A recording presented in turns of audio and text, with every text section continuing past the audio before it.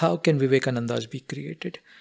You know, Glenn, the story goes when Naren came to uh, Ramakrishna Paramhansa, he was Naren, you know, very stubborn, uh, full of energy, full of resolve, uh, not bowing down, huh, like an erect, strong man. And then he comes to the presence of um, Ramakrishna.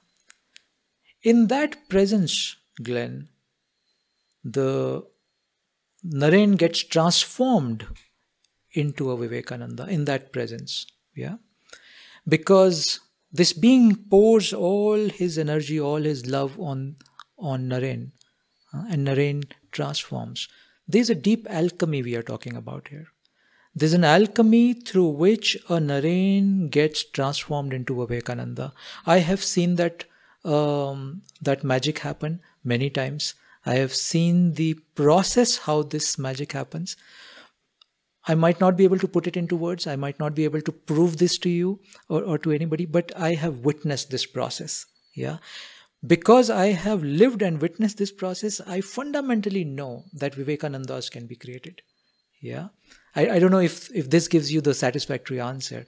Yeah. Uh, there's a bit of mystery around it. yeah.